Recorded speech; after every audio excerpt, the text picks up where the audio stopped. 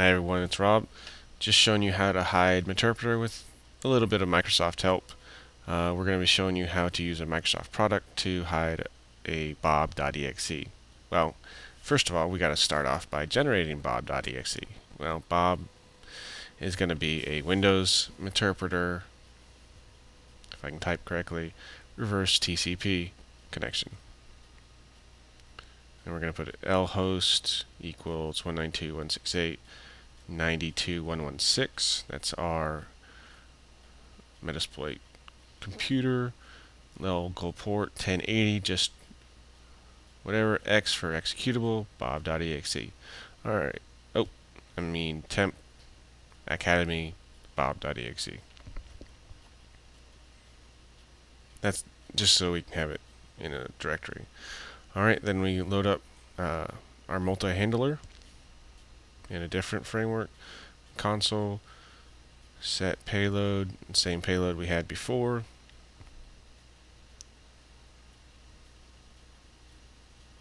If I can type correctly, set l host equals 192.168.92.116, same as it was. Set l port, one, um, I mean 1080. Alright. Show options, see if we got everything right. Yep. Exploit. Now we started a reverse handler so that it will listen for Bob to execute. Now we got Bob all set up. We put it in the temp academy. But how do we get to our host? Alright, we're going to do a little cool shell foo that I found on shellfoo.org, shell-foo.org. Um, but that one's for an old version of Python. There's a new way of doing it, and you just type in Python dash M, uppercase simple, HTTP server, and it starts this little HTTP server, just like HFS. So, already got it going. Colon 8000, just like it was. Alright, and there's Bob. Download. Click. Save. Happy, happy, joy, joy. Almost done. Alright. Use, get the user to click bob.exe and run it. And we got a happily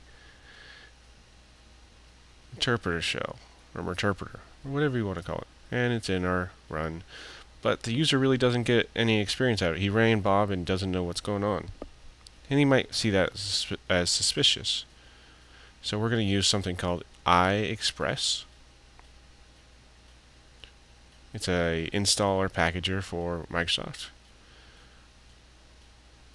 We're going to tell it to extract and run as soon as it goes. We're going to just name it whatever. No confirmation or no prompt, no displaying license. We don't want anything to show up. We're going to add our Bob and we're going to add calculator. So what this is going to do is um, put both of these binaries inside of a self-extracting quote-unquote setup. We're going to go next. Our install program is going to be what runs first, so we want it to be calc. And we're going to do a post install command of Bob. We're going to keep it hidden so it doesn't show up everything we're going to try and keep as, as hidden as possible. Hide all the extraction, anything, we don't want anything at all to pop up. Save it as supercalculator.exe. Next. No, we don't need a restart. No, we don't need to save it for later. Finished, all done. And you'll see why we put calculator first and then Bob second after that. Now let's look at the properties of it. Summary. Look, nothing's in there. It even says on the general tab that it's a possibly malicious file. Came from somewhere else. Then we look at the super super calculator and it's from Microsoft. It has to be trustworthy, right? Cool. So We get our multi-handler back. We get it working again. Okay. Now we double click and there's calculator. Cool. User can use his little calculator that we sent him and it does its happy jazz and you can really substitute this for anything that you can get a user to use but as soon as he clicks the exit it's going to run that post command and look what we got bam. An interpreter shell and user has none the wiser. No reason to be suspicious. Nothing. So that's why it came first. Because if we hadn't if we'd gone the other way with it it would be waiting for Bob to exit exit first and then calculator would run. So it would wait until interpreter got closed out and then Bob would run or then calculator would run. So we're going to upload this to virustotal.com, see how it works out. TTD.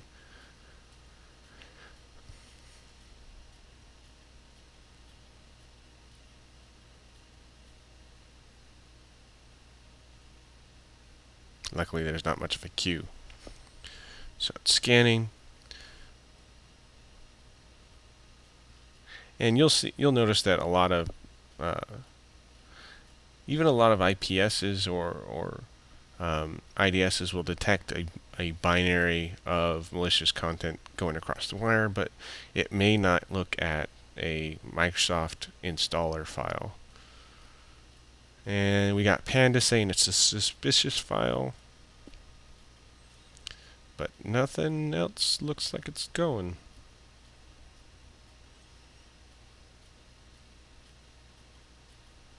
So we have a completely clean file, except for Panda, who says it's suspicious, but nothing else. Probably says suspicious on 9 times out of 10. Result 1 of... Panda 1 of 39. And that's it, as of today. So I mean that's it. I mean we have a package file that the user can use and we're all done. So thanks for watching and you can find me at room362.com and more Academy videos at www.theacademypro.com and also for your home users www.theacademyhome.com and that's basically there for people to send your parents and everybody you don't want to talk to so they can get IT help via us. Thanks for watching.